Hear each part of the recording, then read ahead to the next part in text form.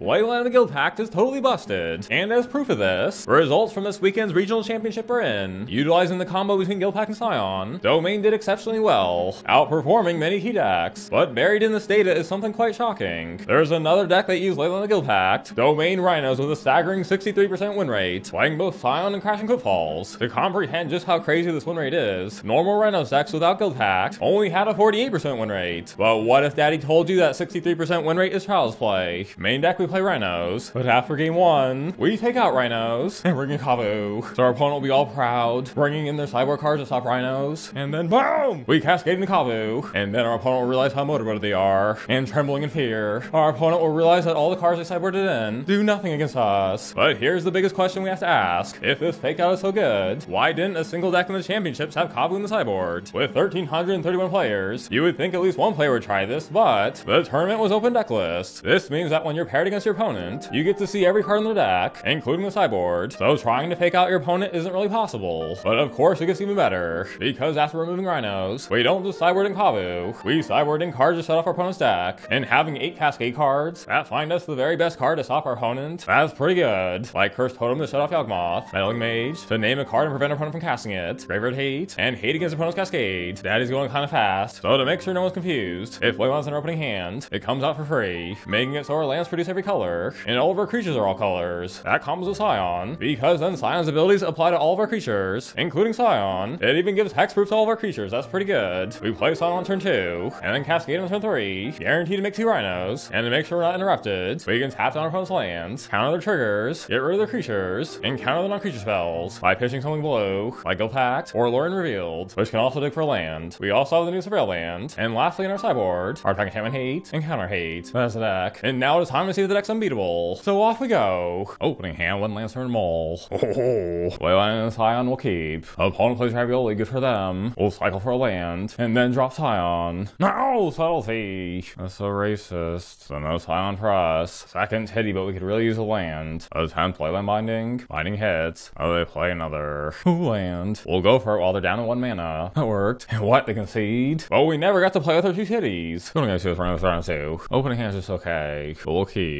Ooh, copy nice. Our opponent will be in for a wonderful surprise. Our opponent's feeling pretty safe. Tapping out for Ledger Shredder. But a surprise! Opponent draws out sadness. And with Chandler. The loot with Shredder. Personation, nice. With Shardless Agent. Fighting out the Kavu. And jump subtlety. That's suspicious. We'll swing and exile the Preordain. And what? They unholy heat Shardless Agent? But now they have Delirium. They could have killed Kavu. But I suppose our opponent didn't want to risk it. Opponent digs some more. And more digging with Bauble. And what? Hibernation? Return all green permanents to hand? No, you silly hoe. Force negation. We take three. Leyline Binding Shredder. Melon Outburst. Kavu number three. We'll swing shut off Delirium. And we'll pray for our opponent. Digs. Throwing Chalice in graveyard. And Holy Heat one Kavu. But recognizing a motorboating when they've seen one, our opponent concedes. A wonderful start for us now on the next banking. Opening hands totally fabulous will keep. Opponent plays with fake land tapped, so they must be a landless sack. We'll play Scion Pass, and now Scion has all these wonderful abilities, and oh, opponent's ramping. And Leyline Binding, okay. Tempting to use it now. I think we can afford to wait one turn. Play Shardless, so they can make four mana here. Uh oh, that's a ritual. Six mana. If they have another ritual, we could be in trouble. Oh, they do. Oh, don't do it. I think we're safe. Opponent filters their hand, drawing four cards, but our opponent accepts their fate. So game one goes to us. Going into the two. Opening hand, we have a Guild Pact. No Scion, but it seems okay. We'll keep. Opponent suspends Lotus Bloom. We'll suspend Footfalls and pass. On our ramps. Ew, more land. On their upkeep, we'll tap down the land. On it passes. And this is a little stinky. They get Lotus Bloom on their turn. But we hit Meddling Mage. We could name Lotus Bloom, but that seems a little derpy der. But either way, we'll drop out Outburst on their upkeep. Opponent tries to silence us, so that we can't play spells this turn, but Outburst. Finding Footsie's, ooh. Oh, with at least 5 mana. They could pop off here. One makes mana. And more mana. Ooh, they have 7 mana. For White Sun's Twilight, a board white that makes a might, but each might deals Infect. At least we draw Shardless. We'll play it. Finding other footfalls, so there's hope after all. One pair of pants later. Enema for 8, and our opponent didn't like the Enema, but Twilight was a cool cool card for them to sideboard in, and now our win streak continues. So in the next match, I don't even know what was going on. The opponent played Boggart Ram-Gang with Haste and Wither, as well as Weathered Runestone, which does absolutely nothing against us. But it wins win, and our win streak continues. Opening hand has a good curve and a keep. This looks like Yawgmoth. We'll play Silent Pass. We'll verse the ramp. Uh, burst okay. We'll push for four. Play Shardless, making our rhinos. And what, they blow us? Sure. Upon place Christ, and make an insect, and pass. But the question is, do we go after Christ, or just swing out at them? They could sack and kill a creature. Oh, with Violent Outburst in hand, pumping our board with surprise our opponent. I say we swing out at them. Will they block or just accept the cock? What, they just block with one token? But our agent has trample. Alright, Violent Outburst, oh, concedes. Going into game two, switch things up, bringing in this for the final two. Opening hand, a lot of lands. Oh, We do have Guild Pact, so we're gonna keep.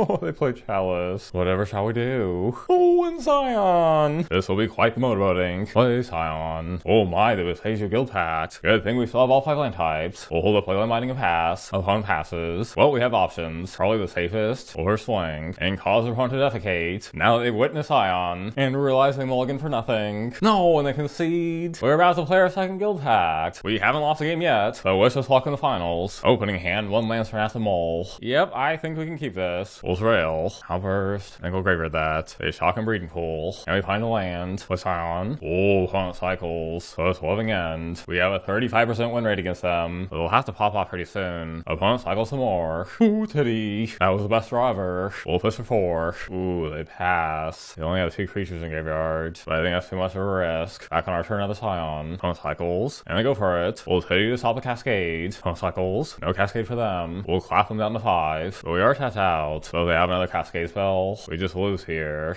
Ooh, opponent cycles. Uh oh, they shock. Darn it. Almost lock it down. But it's not over till the fat lady queefs. Land Frost. Play another Scion. And very risky. But play Leyline Binding. If it hits, we can take out their flyer. No, the counter. They spank us for 16. The race has Swamp Walk, so we can't block. And they play another flyer. Shardless, that's pretty good. But if they block with both their flyers, we'll lose Scion. So play Agent. Darn it, another Force. They have the perfect hand. Safe to say they have us. Going in game two, dump pull this for all this, and we'll ask them to. Opening hand's pretty strong, we're gonna keep. Belly line. We'll surveil. We'll handle take it. We'll play Uranus. Opponent cycles out of sadness. And cycle some more. But now they can't cascade. On digs. And passes. A second Dranith is tempting. But Outburst seems smarter. Outburst now on our turn. On Kavu. So even if they have Force Negation hand, they couldn't have countered Kavu. We'll take over two. And what shall they do now? Oh dear and grief. Discarding a card from our hand. But both cards are pretty good. After thinking long and hard, they take Uranus. Oh, and Teddy. We want to discard a draw? Or exile a card from the graveyard? We could use a second blue card in hand. We'll rummage. And the magic gods heard our prayers. We'll pass. Huh, fetches. Did we Teddy that? I think so. And opponent realized that they clapped. And they concede. Going in game three, the Guild Pacts don't do much against them. So we'll bring it to speed, so now it's on game three. Opening hand, we have a bit of a problem. We have Uranus. The Misty Rainforest can't really help us there. So we'll have to choose between Uranus and Kavu. But we'll keep. We do draw land, so that helps. On cycles, but they don't shock. That's strange. I would feel a lot better if we had a second blue card to pitch the force. But playing Uranus this early seems like it'd be derp der. So for now, we'll play Kavu.